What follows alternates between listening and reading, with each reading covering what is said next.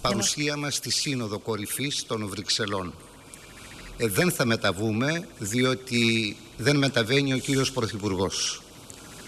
Αλλά συμφωνήσαμε ότι αμέσως μετά την ανάρρωση του κυρίου Πρωθυπουργού θα μεταβούμε μαζί στις Βρυξέλλες σε ολόκληρο τον ευρωπαϊκό χώρο προκειμένου να διαπραγματευτούμε και προφανώς να διεκδικήσουμε όλα εκείνα τα οποία αντιστοιχούν στην εφαρμογή και στην υλοποίηση των όσων έχουμε συμφωνήσει στο επίπεδο της προγραμματικής μας συμφωνίας, της προγραμματικής σύγκλησης.